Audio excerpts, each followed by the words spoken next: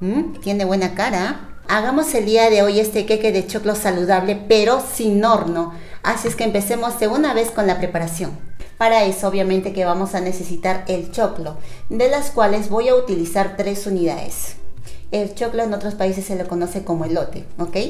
También vamos a necesitar una taza de harina pan. Si no tienes lo puedes reemplazar por harina de avena pasas, aunque esto es totalmente opcional. Si en el momento no quieres ponerlo, no hay problema. Más bien, si lo vas a poner, tienes que hacer remojar la pasa en agua. También lo puedes hacer remojar con un poquito de pisco, una cucharita de polvo para hornear. No se olviden de la stevia o también le puedes agregar tu endulzante favorito. Y finalizamos con los huevos. Más o menos voy a utilizar unas 6 unidades.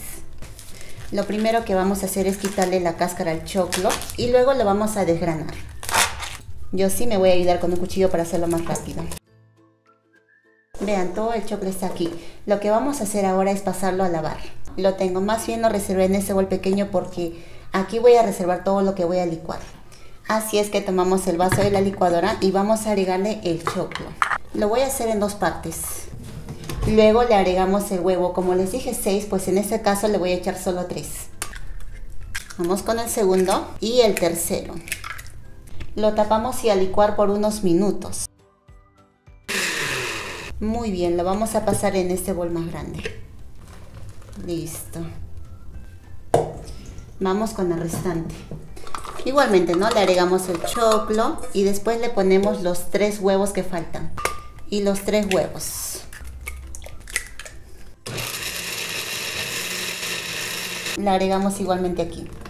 Ahora viene lo más sencillo, que es agregar la harina de maíz el polvo para hornear para que salga bien esponjoso.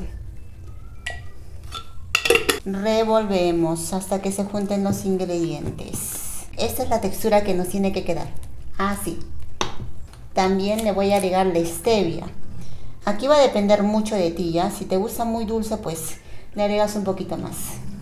Movemos y solo nos faltaría agregar las pasas.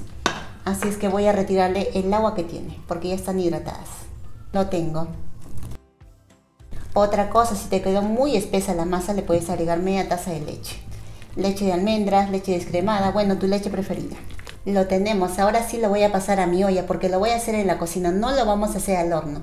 Pero si tú lo quieres hacer en el horno se va a demorar unos 40 minutos a 180 grados Celsius. Yo lo haré aquí. Ya le agregué aceite de coco y lo voy a barnizar bien para que no se pegue.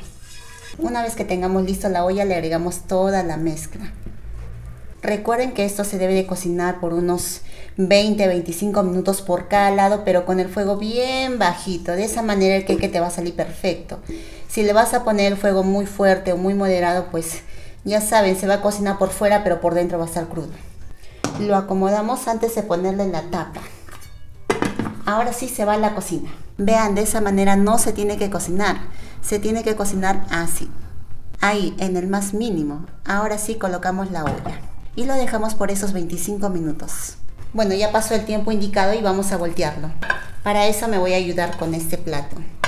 Así es que lo coloco ahí y luego volteamos con mucho cuidado. ¡Wow! Miren cómo salió. Y nuevamente lo colocamos. Listo. Y ya la cocina nuevamente por unos 20 minutos. Recuerden que tiene que cocinarse con el fuego bajito. El momento de la verdad. ¿Mm? Tiene buena cara. Ahora sí veamos cómo está por dentro. Recuerden que lo pueden comer como desayuno, como una merienda, como una cena. Así quedó el queque de choclo, como ustedes pueden ver ahí está la pasa y obviamente que la masa se cocinó perfecto. Como les he dicho hace un momento, lo pueden comer como un desayuno, un almuerzo o en todo caso también lo puedes comer como una merienda, ¿no? Creo que como una merienda debería ser la mejor opción. Otra cosita, recuerden que toda la receta rinde para 6 personas, ¿ok? Tengo uno por aquí y aquí nos quedan 5 porciones más. Espero que les haya gustado la receta y por favor, si lo hacen, no se olviden de compartir su foto en los comentarios. Muy bien, yo me despido y nos vemos como siempre hasta el próximo video.